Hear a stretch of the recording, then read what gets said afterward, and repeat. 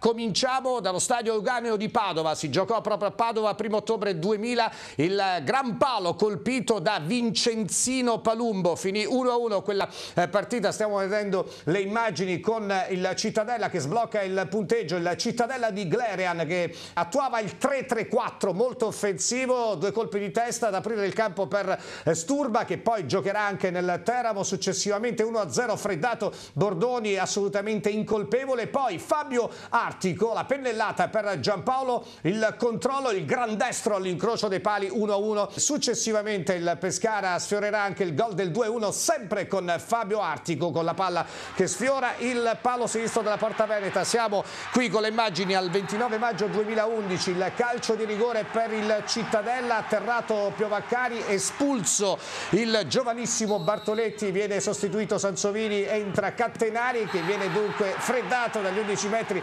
proprio da Federico Piovaccari, classe 1984. Guardate il pareggio momentaneo di Stefano Giacomelli, un super gol da parte dell'attaccante che milita in questo momento, in questa stagione nella Vicenza, classe 1990, davvero un grandissimo gol, una magia. Eh, quella di Giacomelli, poi il 2-1 con uno slalom di Gabbiadini che gioca naturalmente nella Sampdoria, palla dentro per lo stesso Piovaccari che elude l'intervento di Cattenari ed deposita nella porta sguarnita. 2-1 per il Cittadella di Foscarini, l'allenatore del Pescara era Eusebio Di Francesco, era l'ultima giornata della stagione 2010-2011, poi scappa via ancora Manolo Gabbiadini che era giovanissimo, palla in mezzo, tutto solo eh, di Roberto, fa tris 3-1 per il Cittadella. E poi il 3-2 accorcia le distanze, Marco Verratti, primo gol in Serie B per l'allora diciottenne in quel momento, Marco Verratti assistito magistralmente nella circostanza eh,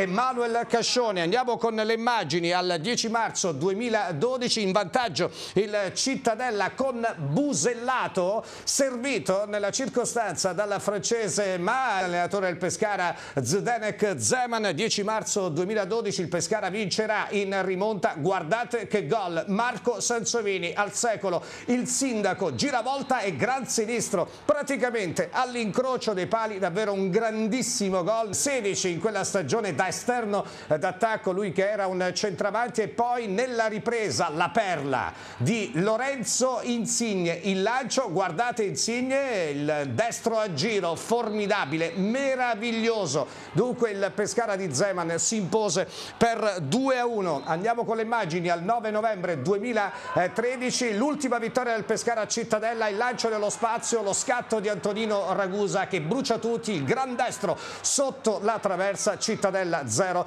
Pescara 1 era il Pescara di Pasquale Marino. 20 settembre 2014 Cittadella batte Pescara 3 a 2 il vantaggio di Gerardi che gela Vincenzo Fiorillo. Uno dei due centrali era Emanuele Pesoli, stretto collaboratore di Beppi Pilloni, il pareggio di Politano, il sinistro a giro a scavalcare la barriera. Pescara che si porterà in vantaggio con Federico Melchiorri, eh, l'uscita diciamo diciamo così, rivedibile del portiere Valentini, ne approfitta Federico Melchiori che sigla così il primo gol con la maglia del Pescara, inquadrato Politano, ma in realtà il gol era di Melchiori, 2-1 per il Pescara, ma c'è la rimonta del Cittadella nel secondo tempo eh, con Coralli che firmerà una doppietta. Qui anticipa Pesoli e qui fa tutto bene, elude l'intervento di Zampano e poi piazza il pallone alla sinistra di Fiorillo.